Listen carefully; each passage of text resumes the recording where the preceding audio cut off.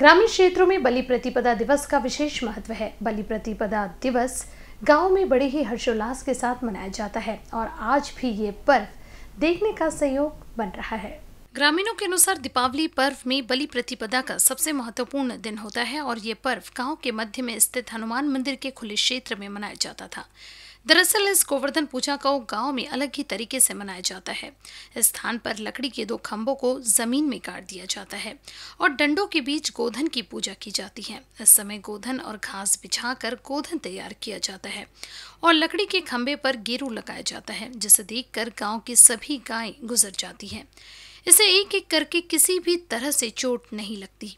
सभी गाँवों के गोधन को पार करने के बाद उस स्थान से घास या घास की छड़ी को ग्रामीणों द्वारा घर ले जाया जाता है और इसके साथ बलिराज की एक छवि मनाई जाती है और इसे हर घर में पूजा जाता है। जब यह समारोह मनाया जा रहा था, इस पारंपरिक त्यौहार को देखने के लिए गाँव के युवा और बूढ़े बड़ी संख्या में मौजूद थे।